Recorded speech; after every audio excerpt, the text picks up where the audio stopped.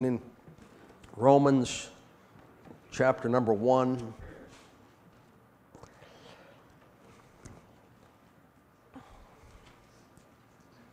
Say a little pastor thing before we start the message tonight. I, I, know you know this, but we know it, but we need to say it even though we know it. Um, it is great to come to church, and it's great to be faithful to come to church but coming to church is not why we come to church. And if you're just in the routine of coming to church because it's the right thing to do and to be with your friends, and you zone out as soon as the Bible starts, and you zone back in when it's time to chit chat with friends after church, uh, it's not going to help your life. It, it, it, there's, there's no spiritual advantage to coming to church. And there's a lot of lost people go to church. They're going to die and go to hell, having, having been to church a lot. So when we pray, don't just, okay, it's time to bow my head and somebody's going to say a prayer and then I'm going to think about my home or my family or my job or the government or something and, and then we'll have another prayer and we'll start talking again. Let's really, let's really try to pay attention to what's in the Bible. Let, let God work in our heart. We can become as ritualistic as Catholics just going through the motions and, and being seen and checking off all the boxes and, and our lives your life can fall apart sitting right in church in a good church. Home can fall apart marriage fall apart testimony fall apart and everybody's shocked. Wow i can't believe it. They were here all the time.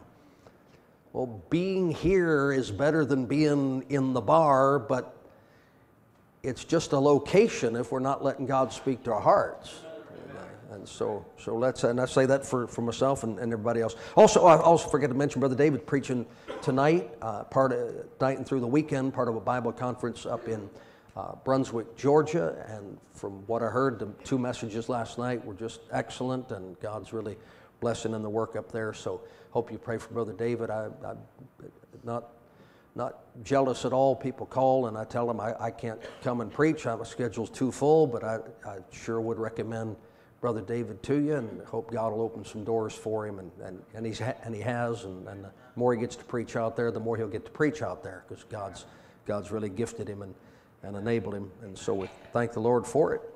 Amen. Tell you, every time somebody calls wanting a pastor, I, I ask him, I said, You, you want to go? And he said, No, I'm, I'm doing what God wants me to do. So it's a blessing. It's a blessing because uh, he could go tomorrow, and a lot of churches be glad to have him. And, pay him more than we're paying him. of course, now with this new system, that might change. All right, let's pray. Father, uh, please bless your word to our hearts tonight. Help us, God, to have ears to hear. And we'll thank you for it in Jesus' name and amen. All right, we're looking in Romans 1. Uh, we, we, we we're, we're off track. We could go back and go through all this again. Because in looking at these characteristics of reprobate minds, we absolutely could apply them to dictators, atheists, murderers, wicked, evil people out in the world, but they're not here and they're not listening. So we've chosen to try and apply these things to our lives and make sure that we don't manifest the characteristics of those who do not like to retain God in their knowledge. And that might be a, a, a bit uh, out of context, but it's certainly profitable for us. Um, I haven't dismissed God from my knowledge for a decade or for a year, but I'm, I bet all of us spend a half hour or so every now and God's not in our thoughts and we're acting contrary to the, to the ways of God. And the evidence of that is looking at this list uh, being filled with all unrighteousness, fornication, maybe not, wickedness, maybe, covetousness, likely, maliciousness, full of envy, all of us at one time or another, murder, well, wanting to, debate, deceit, malignity, whisperers, backbiters, haters of God, despiteful, proud, boasters, inventors of evil things, disobedient to parents. Now, come on, you can't put all that on communists. You can't apply all that to, to you know, just wicked, dirty people in the gutter. That's everybody at some time or another. Shouldn't be, but it is. Now, tonight, here's what, here's what we have next. Verse 31 without understanding. without understanding. When the human mind grasps the real state of things presented to it, when it receives or comprehends the ideas others express, this is understanding. Hearing is not understanding. Learning is not understanding. Observing is not understanding. This world sees and hears and, and learns, but it's evident if you, as you look at the lives they live, they don't understand. They don't understand God, they don't understand family, they don't understand gender, they don't understand righteousness, they don't understand life, death. It's a disaster. We have more educated people in this country than probably any nation's ever had. We have more money spent on education. We have more information available we have the, through schools and internet and lectures and, and libraries and all of that. But what a bunch of dummies walking around. And it's not for an absence of facts, it's for a, a, an inability to, to properly understand what's being presented. Let me show it to you from the Bible. Uh, come to Genesis 42. Genesis 42, we'll go way back and just look at how this thing is. This real basic, simple stuff to start out with, and then we'll uh, get in a little deeper as we go along, Lord willing. Uh, Genesis 42, verse 23. This is Joseph's brothers talking down there in Egypt. He's got them on the hot seat. Verse 23 And they knew not that Joseph understood them, for he spake unto them by an interpreter. Now, we just use this for an example. Here's one man speaking to another man in, say, Spanish and a man who speaks English but not Spanish hears the two people speaking, but he doesn't understand them. Man, it's not deep, but there it is. You can hear people talk and not understand what's being said. Happens in the living room all the time. Happens in the church house all the time. Happens on the job all the time. It might not be a foreign language, but the very language you speak may be foreign to you if you don't comprehend the words that are said. Now, look at 1 Samuel chapter 4. We might also fail to comprehend the circumstances or the situations in which we find ourselves. In 1 Samuel 4 6, when the Philistines heard the noise of the shout, they said, What meaneth the noise of this great shout in the camp of the Hebrews? And they understood that the ark of the Lord was come up into the camp. And the Philistines were afraid, for they said, God has come into the camp. Now, when they heard the shout, they knew it was a shout, but they didn't know the cause of the shout or the importance of the shout. When they found out that the ark had returned to its proper place and rallied their opposition troops, then they understood, oh, that's what it was all about. Some of you went to church for a long time before you got saved. You saw people sing praise to the Lord, and you didn't understand why they were singing like that. You saw people shout when things were said about Jesus Christ. You didn't understand why anybody would get excited about that. And so many times people observe something or overhear something or but they don't know the details of. They don't, they don't have a comprehension of, of what, what's that all about. Try this one Psalm 106. Psalm 106. And look what the Bible says about a people who watched nine massive plagues fall on Egypt and then watched the Red Sea part so they could cross on dry land as that tenth plague took out the firstborn in every Egyptian home. Verse number seven Our fathers understood not thy wonders in Egypt. They remembered not the multitude of thy mercies, but provoked him at the sea, even at the Red Sea. Now, wouldn't you think after 10 plagues fell upon your captors, and you walked out of that city without any opposition, you would have said, Praise God, glory to God, we're free. But they watched all that and didn't know what God was doing. Maybe didn't even know it was God that was doing it, according to Psalm 106, verse 7. How many things has God done in our lives? And He got Romans 1, He got no thanks, He got no glory, He got no praise, because we lacked the understanding to equate that blessing to God's work in our life. We lack the understanding to see that wasn't luck, that wasn't chance, that wasn't my hard work, that wasn't a fortunate bounce. God. And then He gets the glory. Lord says when, when God does great things in our lives, but there's no praise offered to Him and there's no faith built up in our hearts, it's because we lack understanding. Try this one uh, Deuteronomy 32. Deuteronomy chapter 32.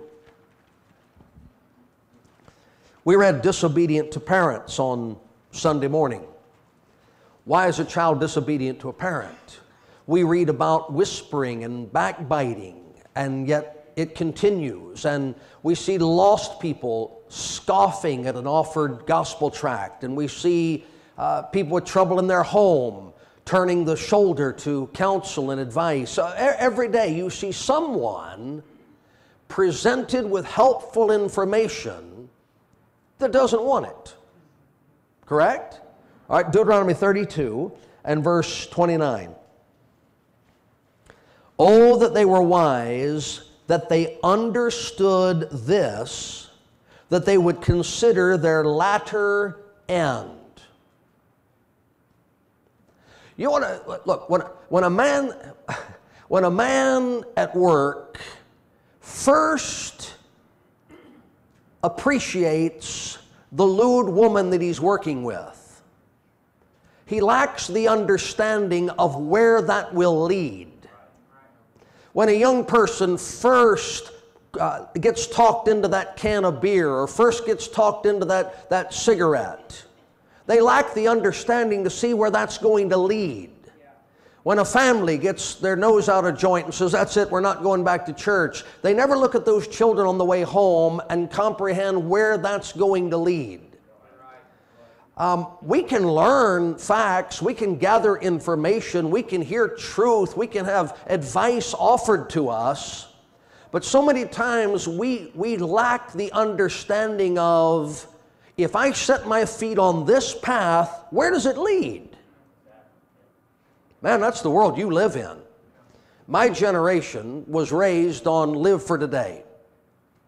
Drop out, get high, shack up, well, where's this going to leave me 30, 40 years from now? Oh, come on.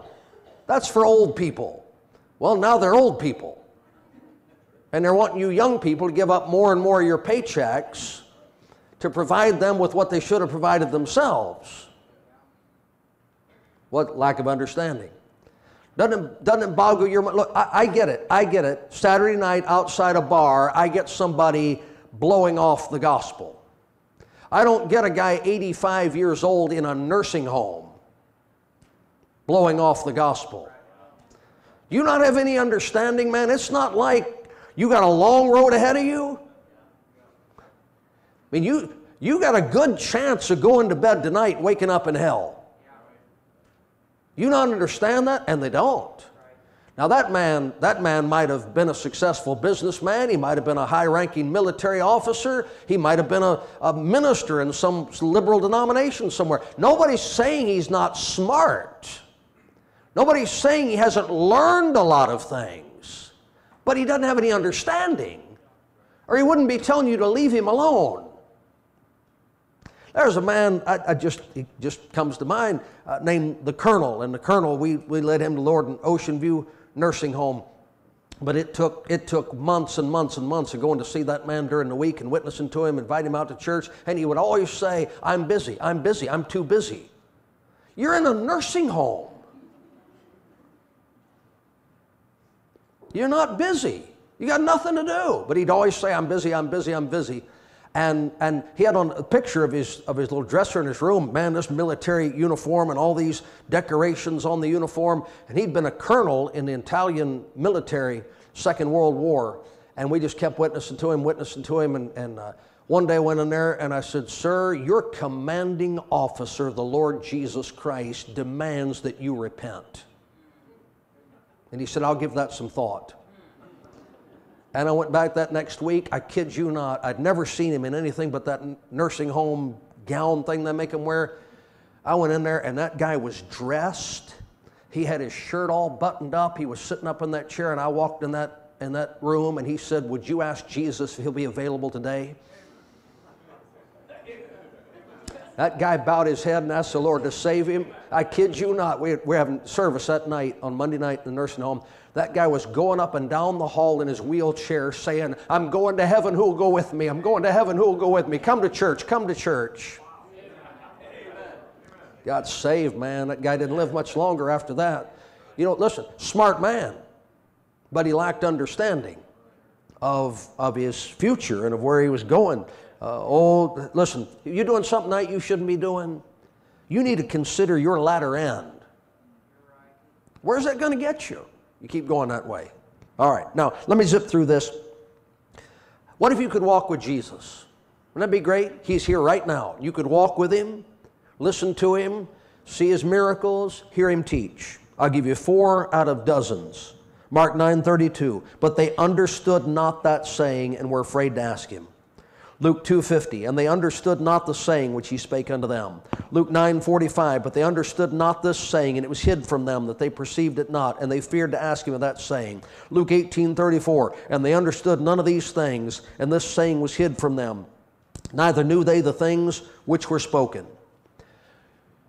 You, you don't have to be listening to me. You could be listening to Jesus Christ Himself, God manifest in the flesh, and not know what He's talking about. How many times he telling him he's going to the cross? And Peter's out there with a sword trying to keep it from happening? Learned, they learned, they heard, they saw, they observed, they experienced, but they didn't understand. God help us. God help us. Now, let's go to Exodus 31 and look at the first time the word is used in the Bible. Exodus chapter 31.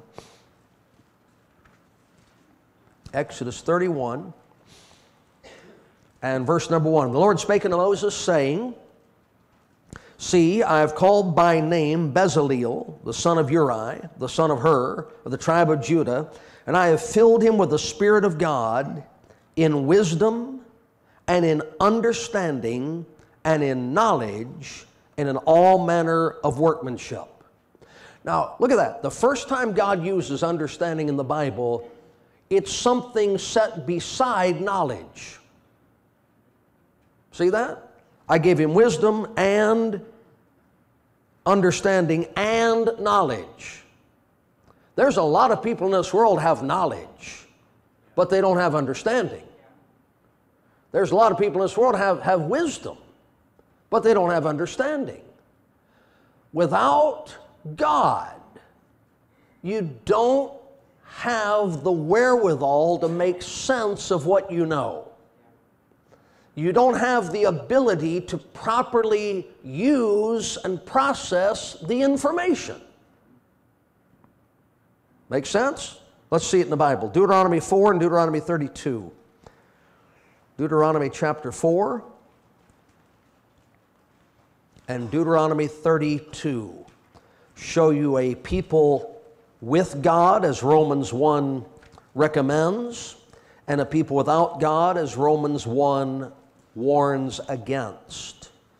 Deuteronomy 4 and Deuteronomy 32. All right, Deuteronomy 4, verse 6. Keep therefore and do them. That's the uh, verse 5, the statutes, the judgments, commandments. Verse 6. Keep therefore and do them, for this is your wisdom and your understanding in the sight of the nations which shall hear all these statutes and say, Surely this great nation is a wise and understanding people. So, what, what did they have? They had statutes, they had commandments, they had judgments. But the Lord said, You won't have understanding unless you keep them and do them. The information is necessary, But acting upon the information is the means whereby God gives us understanding. Our young people say, and, and, and they say it, our, our adults think it, but our, our young people say, Well, I don't understand why I have to do that. You won't understand why you have to do it until you do it. You can hear preaching and you can hear a sermon and you can read the Bible, and so I don't see where that's going to benefit me, and you won't until you do it. And you say, Oh, I get it. I get it. Now, now it makes sense.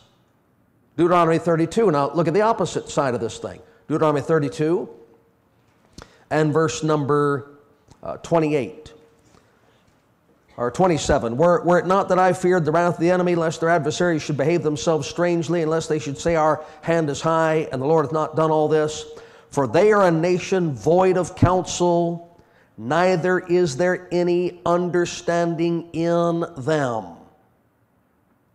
Oh, that they were wise, that they understood this, that they would consider their latter end. See, it is, there it is again. There it is again.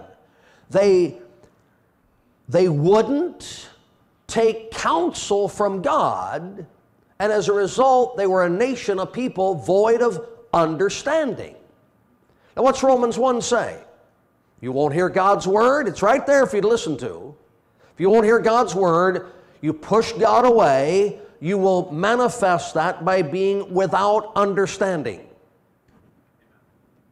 Just easy. Look, just we just skim the surface. We don't have to even get in the depths of the sewer. You live in a nation that doesn't understand any correlation between massive amounts of free pornography to youth and massive amounts of sexual assaults and child molestation. You know why? They've pushed God away. That's the simplest thing in the world to understand if you've got a brain. But they have brains and don't understand it because there's no God. How do you live in a nation where adults bring children into the world and aren't sure what gender their children are?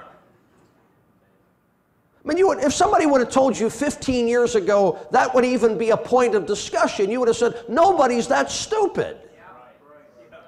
Nobody is that stupid. It's not a lack of intelligence. These are college educated people promoting this.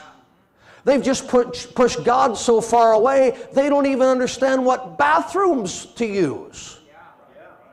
That's how messed up they are. You live in a society that doesn't understand the most simple, basic, rudimentary facts of life. Because 12 years of free public school education, not lack of knowledge, instant access to all facts known to man at the push of a button on your computer, not a lack of knowledge. College degrees available. If you can't afford it, we'll give you a loan. If you can't pay back the loan, we'll just write it off.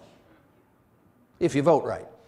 Uh, it's not a lack of facts, it's not a lack of information, it's a lack of God. You live in a nation that is, that is increasingly literate, increasingly quote unquote educated, but clueless. And, and they manifest it in ways that just make sane people shake their heads every single day.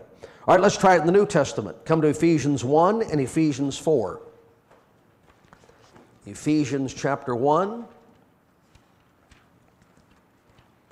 in Ephesians chapter 4.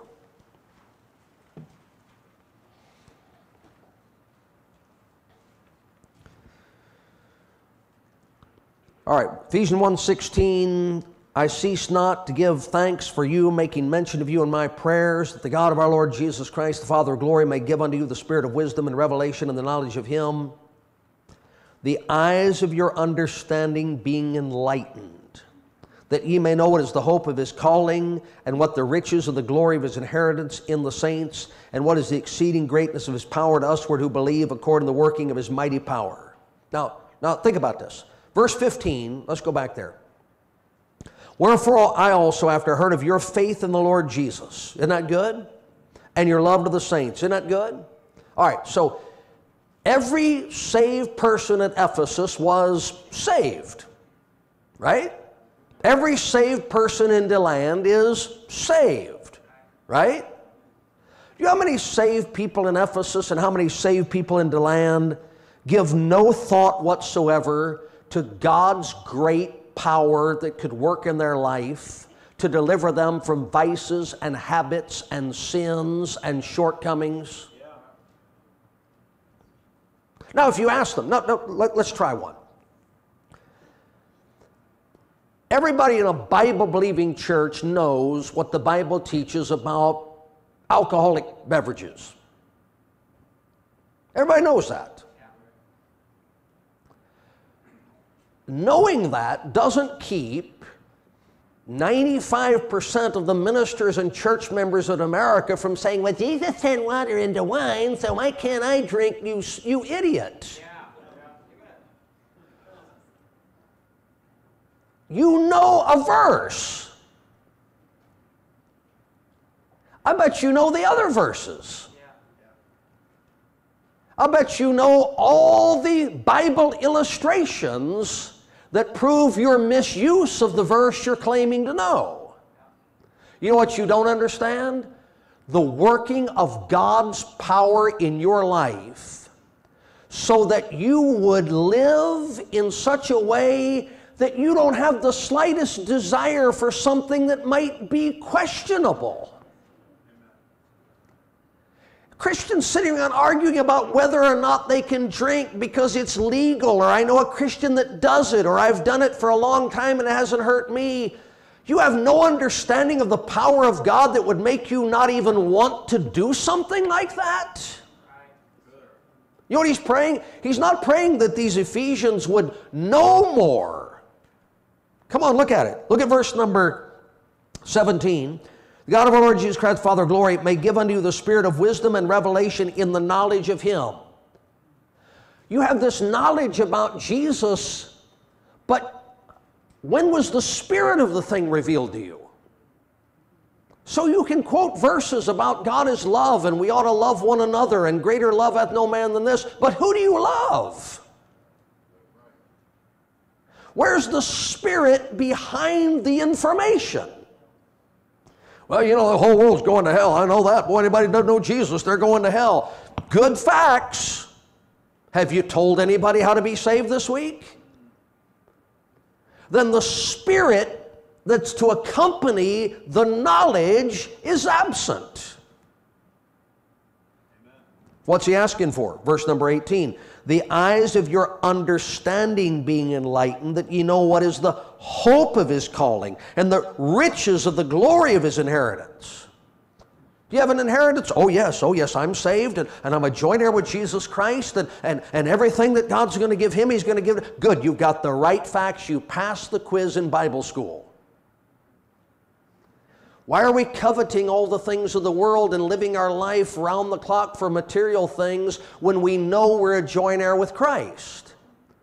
Because we lack the understanding that empowers the information. Come on, does that make sense? There's not a Christian headed for a divorce court tonight who doesn't know all the verses on divorce. You know what they lack? They lack the power of God to put the spirit of those facts to work in their life. You know what he's praying? He's not praying they'll know more. He's praying they'll understand what they know. So that God's word is not like Mongolian to a person who's never heard the language spoken. I know somebody's talking, but I don't know what they're saying. I can recite back to you what God said, but I don't know what he's talking about. Now look at, look at the other side. So he's praying for, for the eyes of their understanding to be enlightened. Look at Ephesians 4.18. Here's lost people. Verse 17. This I say therefore and testify in the Lord, that ye henceforth walk not as other Gentiles walk in the vanity of their mind, having the understanding darkened being alienated from the life of God through the ignorance that is in them because of the blindness of their heart, who being past feeling have given themselves over unto lasciviousness to work all uncleanness with greediness. But ye have not so learned Christ. See what he said? You know as a Christian, the way lost people live, the way you used to live, is not how you're supposed to live. They know that. He's asking them to not walk like people who don't know it. You understand? Uh, the fastest growing churches in this and every town in America are people who are, are, are, going to church and being told all that matters is knowledge. You don't have to live it. They make fun of us for asking Christians to apply principles of righteousness in the Bible to their daily lives. They apply a standard of living to your relationship with Christ they wouldn't apply to any other relationship in their life. God doesn't care what you do as long as you praise Him. Try that in your marriage. My wife doesn't care how, how contrary to marriage I live as long as I, love you, I love you, I love you, I love you, I love you, I love you. Doesn't count. You don't feed your kids, you don't provide for your kids, you don't work and put food on the table for your kids, and you tell them you love them. Who cares? So you come to church and you chant for 20 minutes and tell God how much you love Him, and then you go out and live like other Gentiles. Who cares? It's a testimony that we lack understanding. If we're saved and still living like lost people, it just shows we know things about the Bible and know things about God, but we don't have any real comprehension of them. So he's praying in Ephesians 1, Ephesians 4, that we'd, we'd get that comprehension. Now, come to 1 Kings 3. Let's go there. Oh, the night is young. we got lots of verses to talk about here. 1 Kings 3. 1 Kings chapter 3. This the Lord, he comes to Solomon by night in a dream and he says, uh, Whatever you want, whatever you want, just name it. And the Bible says, verse number 7 And now, O Lord my God, thou hast made thy servant king instead of David my father, and I am but a little child, I know not how to go out or come in.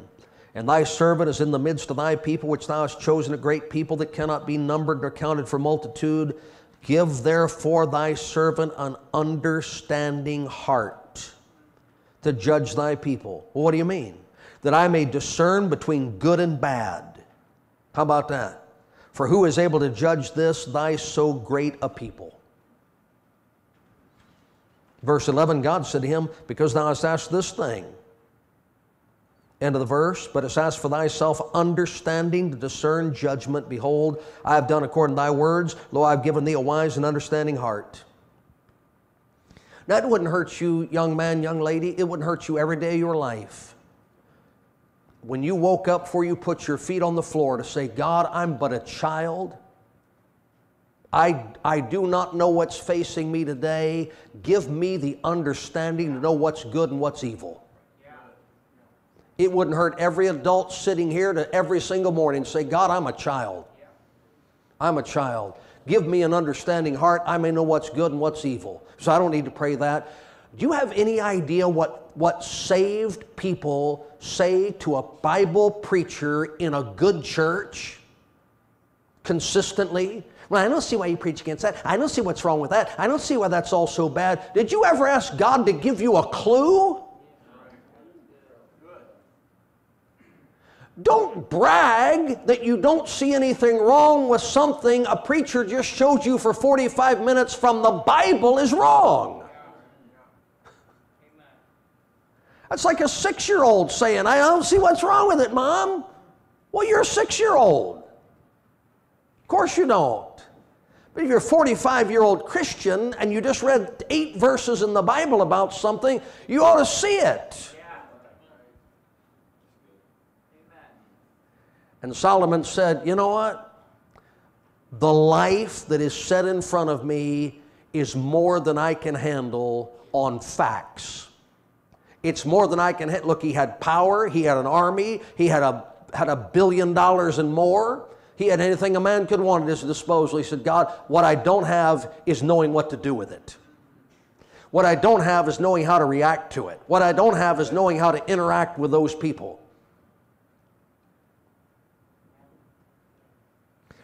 I, I am so thankful I'm in a church full of people that reads the Bible. I hope you read the Bible. And that listens to the Bible preached. I, I know you listen to the Bible preached. And that, and, and that learns things about the Bible. I know you do. But are we asking God to give us an understanding of what we're learning so that we're living properly? Facts won't do it. You know, as a general rule, everybody that spends four, five, six, seven, eight, 10, 12, 15 years in a church like this and then quits, leaves with all the knowledge they acquired while they were here, then why did they end up where they are a year later? They've still got the knowledge, but without a God given understanding to know what to do with it, you can ruin your life just like somebody who's never been here. God help us. Stop thinking that stuff and facts in our brain is the same as having the Holy Ghost control in our heart. It's not the same. All right, Job 17. Job 17. Romans 1 said, if you don't like to retain God in your knowledge, God will give you over to reprobate mind. Is that, is that not correct? All right, look at Job 17. Oldest piece of literature on the face of the earth. Job 17, verse 4. For thou hast hid their heart from understanding. You push the Bible away, you push God away, guess what He'll do? He'll take understanding with Him when He goes. Job 28. Job 28. I'll get a guru, I'll get a priest, I'll meditate, I'll do yoga. I'll try some TM. I'll go to college and get a degree. Job 28 20. Whence then cometh wisdom, and where is the place of understanding? Seeth it is hid from the eyes of all living. See what God said? He didn't say, I'll have knowledge from you. There's a tree that your forefathers ate that gave you access to the knowledge of good and evil. God didn't say He'd hide knowledge from you, He said He would hide understanding. He would let you be president of the United States, a Supreme Court justice, or a seminary professor and not have a clue.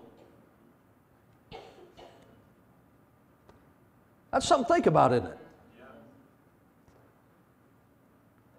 Some of the smartest people in this world that run, run the finances of nations are broke.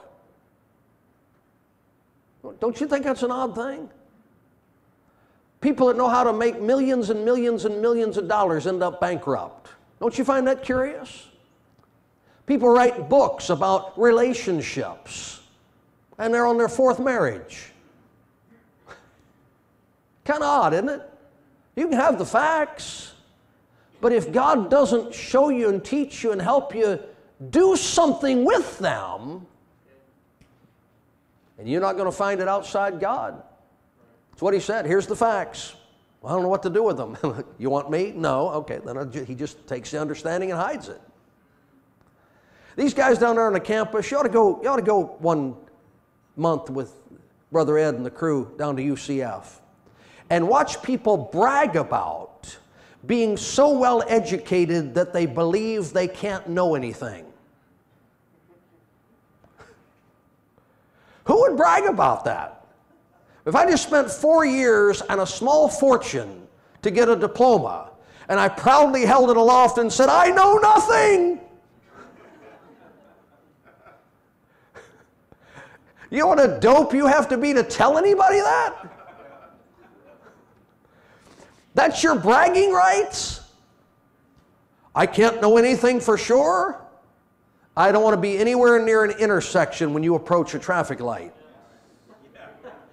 It's red. Well, you can't know that for sure. They don't apply that to anything in their life. Just when Jesus shows up, all of a sudden they can't know anything. Well, I got to go to class. How do you know? My class starts in 15 minutes. How do you know? Well, the, you know, the class is at 9, it's quarter to 9. How do you know? You ju- they're just liars. They know everything, but when Jesus shows up, you can't know anything. You know what they've done? They just push God away and push God away and push God away, and they got all this knowledge and no understanding. Job 28 28, right here, same place. Now, here's, here's a way to, to get back in on this thing. And unto man he said, Behold, the fear of the Lord, that is wisdom, and to depart from evil is understanding. As long as you're in a church or a Bible study or a circle of friends, real or online imaginary friends, who are telling you that your God and your Jesus and your Christianity doesn't require that you stop sinning, you will never have any understanding of what you're learning about God in the Bible. When you, when you are willing to depart from evil, God will stop hiding understanding from you. And you will stop making excuses for the things that are obviously destroying your life. This world's so crazy. They're so crazy. Thank the Lord for the bus ministry. Because if you'd see the homes these, these kids come from, well, they're not homes. If you'd see the roof over the head these kids come from, and you would think after three, four, five, six, seven, eight, nine generations of depravity and disease and drug addicted death, somebody would say, Why am I living like this? Why don't I get on that bus and go to church? But until you're ready to depart from evil, you can't even see the folly of generation after generation of self destruction. You, you know why you can walk up to those situations and say, Why is that woman with these men? Why is, that, why is that man with these women? Why are they involved in all these drugs and all this addiction and all this abuse and all this molestation and all this disease? Why don't they get out of that? And you ask them, What? What? Not a clue. Not a clue. You know why? Push God away, push the Bible away, push Jesus away, replace it with rap and TV and meth and pot and booze and fornication, and then wonder why you can't see the way out of the most miserable life anybody's ever lived since your mom and your grandmother and your great grandmother. You know, as a kid, I, I, read a lot, read, read all kinds of books. I like to read, I never read a lot of fiction. I always like to read true stuff. And I remember reading these books about the Eskimos. And it's, you know, 190 degrees below zero, whatever it is, and the ocean's frozen over, and they're eating whale blubber all winter long. And I thought, did nobody ever say, let's walk south and see what's there? but I'm thinking that as a kid, it's like, is there a fence around it or something? You can't get out? Why don't they move? And now they got the internet. They know there's trees and stuff somewhere.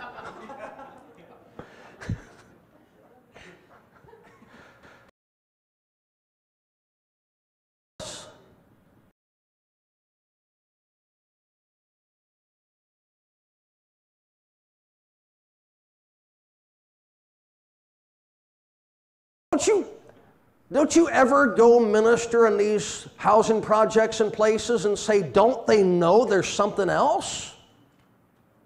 Don't they know you don't have to live like this? Yes, it's not a lack of knowledge, it's a lack of understanding. Well, those cruel, evil, rich people put me here. Leave. The fence around it is, there's a gate. It's not law. You can leave. Well, I don't know where I'd go. I don't know what I'd do. Well, go to church and get saved and let somebody who's not living like this to you. They came to your door. They offered you a ride. They got a Bible. They offered to tell you how they got out of what you're in. Well, is that that church that makes you see? They'd rather live in filth than depart from evil. And so you can't impart understanding. Pretty sad. Pretty sad. All right, let's look at, we got to get moving here. Uh, Job 32, while we're here in the neighborhood. Job 32. Job 32,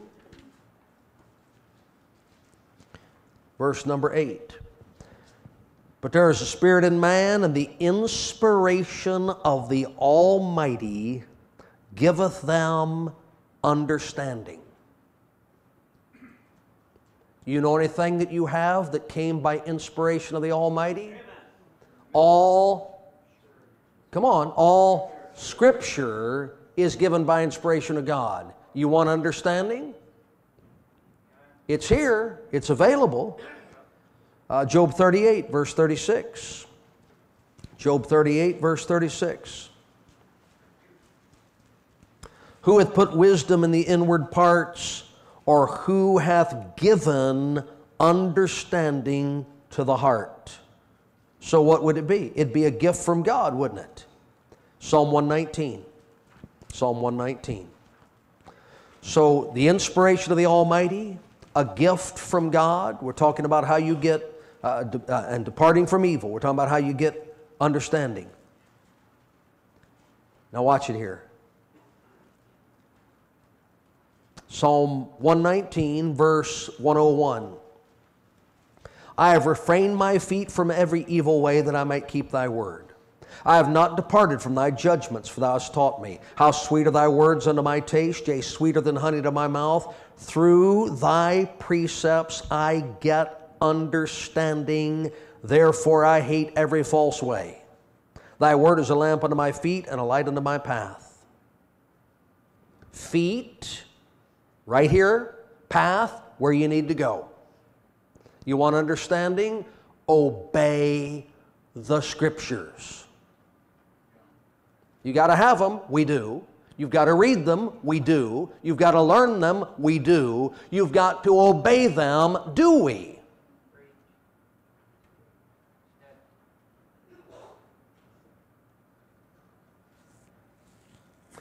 We can come Sunday morning and, and have a lesson four days ago. Bring them up in the nurture and admonition of the Lord.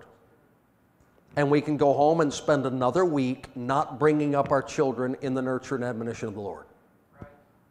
We can have a lesson. Husbands, love your wives, and spend another week not laying down our life for our spouse. Wives, be in, you know. And we can spend another week arguing that God isn't as smart as I am. When it's not a lack of knowledge, we have enough knowledge around here to coast on till the rapture. But it's not going to benefit us if we don't put it into practice in our lives. We will be void of understanding. If we want to obey the Word of God and want to walk in God's ways, then we'll not only have the knowledge, we'll have the understanding that's necessary to make it work. My, my wife, she, uh, her dad was a contractor. If she had her way, uh, she would be working for Jay Hill building houses. And she, she sells these little dogs and she takes her money and she goes and buys these. We got all these power tools and tool kits and tool sets and everything else. Now, all that is thine is mine and all that's mine is thine. So I am the owner of a large quantity of power tools. I know that. And I know what they do. I don't have the slightest idea how to use them. She does, and I tell her, put your goggles on, don't cut your fingers off. That's all I ask. Just build what you want, tear it down, rebuild it, all that, and she has, she has a great time. She has a great time. Praise the Lord. I have the stuff, I don't know what to do with it. Okay, I lack understanding. Guys, some of you want a wife when you get one if all you know how to do is quote scripture at her. You're going to have something and you won't know what to do with it. Getting a wife is not beneficial. Well, boy, if I could just get married, that'd be the answer to all my problems. No, it wouldn't. Not if you don't know what you're doing. Well, you know, if I just get out from under mom and dad's roof and get my own apartment, and so you can do what? Start drinking beer, start listening to rock music, start watching dirty movies? What you need is not your own place if you don't know what to do with it. You understand what we're saying? You can sit in a church like this and rot your life.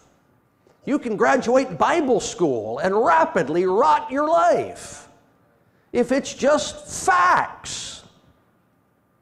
And God knows we're not downplaying the facts. We're, you know, we're a beacon of facts. but you got to let God show you how to put it into practice in your life. All right, let's go to, we'll head down the home stretch here. Nehemiah chapter 8. Nehemiah chapter 8 and Psalm 73. Psalm 73, Nehemiah chapter 8.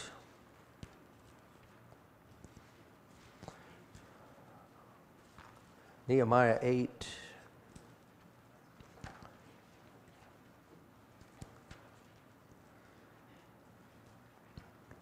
Psalm 73.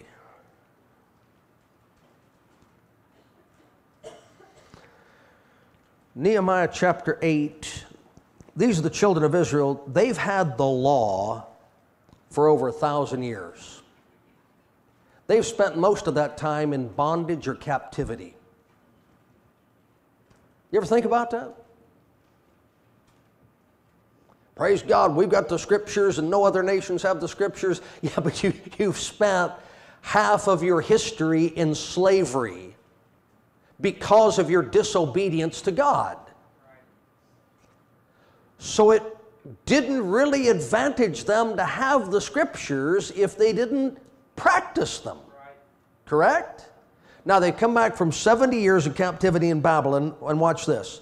Uh, they, they build this pulpit, and Ezra and Nehemiah, they stand up before the people. Uh, verse 4 Ezra the scribe stood upon the pulpit of wood which they had made for the purpose. And beside him stood, and they list all the names of the men stand up there. Verse 5 And Ezra opened the book in the sight of the people. And when he opened it, all the people stood up. A lot of churches do that. They stand up and the preacher reads the scripture. You'd be up and down more times than a Catholic in our church. Anyway, verse number 8 so they read in the book of the law of God distinctly and gave the sense and caused them to understand the reading. See that? That's what every man that stands in this pulpit is supposed to do. Read the Bible, explain the Bible, and then make the application of the Bible so the people know what to do with what they've learned. Amen. Now, that's as far as the minister can go. Watch, look at verse 12. And all the people went their way to eat and to drink and to send portions and to make great mirth because they had understood the words that were declared unto them. How about that? They've been eating for a thousand years. They've been drinking for a thousand years. But now they're eating and drinking with mirth.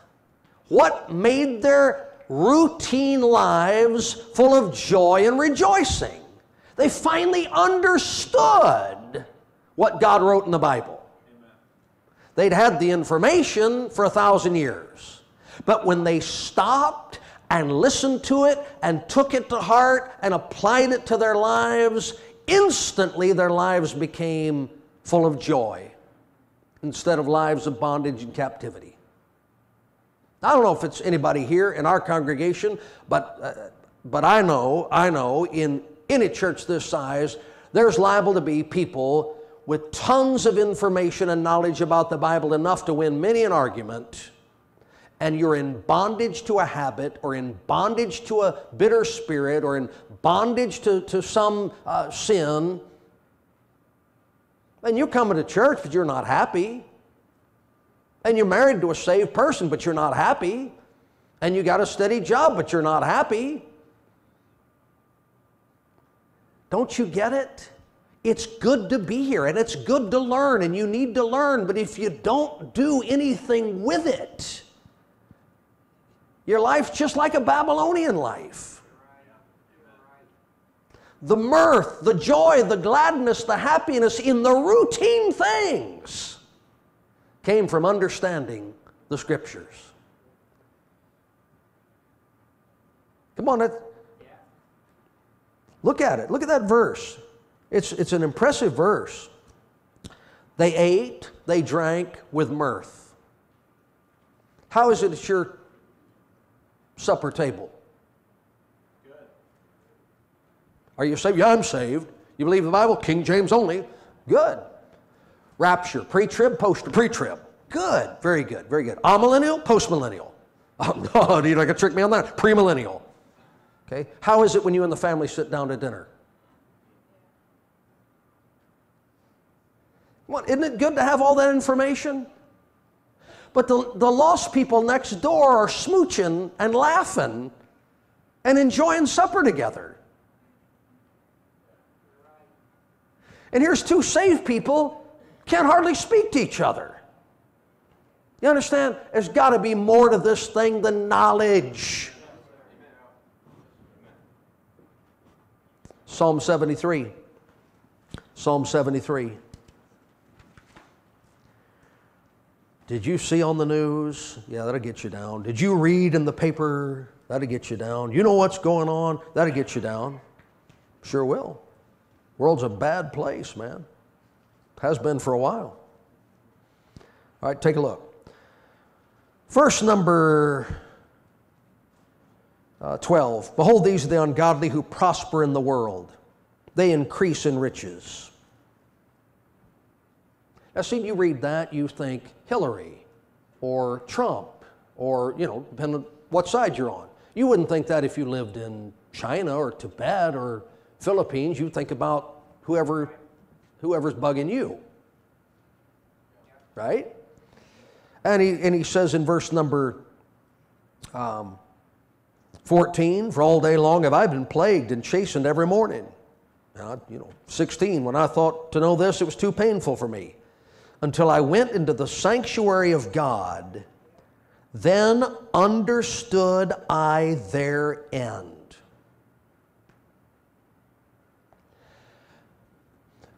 You know what the, the antidote is for your worldwide blues? It's not a more conservative website. It's not a better slant from the news media. It's not more information about what the ungodly are doing in the world.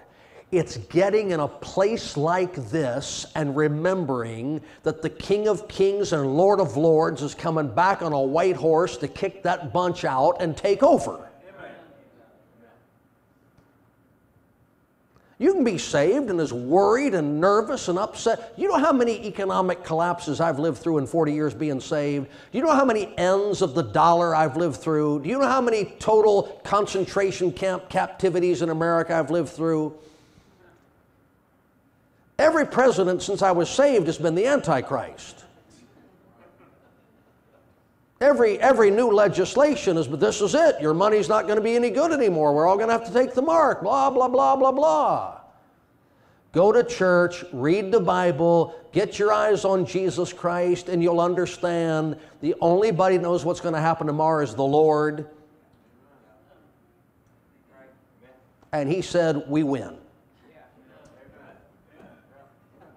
Hallelujah. We might lose every battle, but we win. All right, Psalm 49. Psalm 49. You know what Romans 1 said? The invisible things of Him, the creation of the world, are clearly seen, being understood by the things that are made. Right? So you start with understanding. In your heart, there's a God. You push God away, what do you replace Him with? Man, four footed beasts, birds, creeping things. Yesterday, turn on my computer and up comes the homepage, Bible Baptist Church. Every day I want to look and see who's the, who the pastor is because things, things can change. And so, so that comes up. And at the bottom, this thing came across and it said, Today is National Tree Day. Have you hugged a tree today? now, it's not, it's not that one person would be stupid enough to suggest that. It's that a whole nation would think, yeah, that's really neat.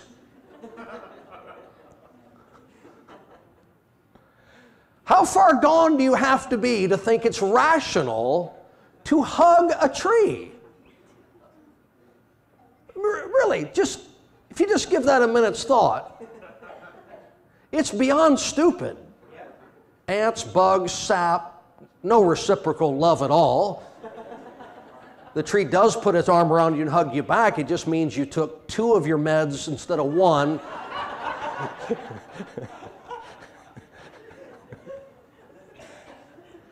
this country's so messed up. We're, you know, we're in church. We're weird. But hugging a tree, that's perfectly normal behavior. That might have got you committed a generation ago. Uh, yeah, I, am calling all the brothers and sisters. Yeah, dad's in the backyard hugging a tree. Oh no, we better get him to the doctor. Today, dad's in the backyard, and we're all joining dad hugging a tree. This country's just off its, out of its mind, man. The only good news I read this week is that uh, they think now that cell phones and computers are causing a large number of males in their 20s and 30s to be unable to produce children. Thank God. that's, that's the best news I've heard in, in years. Spend more time on the computer. so, we need to edit that. Is that over the line somewhere? I, Psalm 49, verse number 20. Man that is in honor and understandeth not is like the beasts that perish. You know what that is? It's Romans 1. The cow never thanks God. The horse never thanks God. The dog, the cat, the pig never thank God. Your nation gets its diploma and never thanks God. It gets its job and never thanks God. It gets its promotion and never thanks God. It gets its retirement papers and never thanks God. It gets its. Because they lack understanding, they just live like animals. May the Lord help us. While we're getting all this knowledge that, thank God, is so abundant for us here in this church, let's don't live like the beasts of the field. Let's don't walk like other Gentiles. Let's let God separate us from evil, give us the spirit of the knowledge so that we know what to do with it. Not just have the facts, but live the Christian life. Amen? Amen. All right. Father.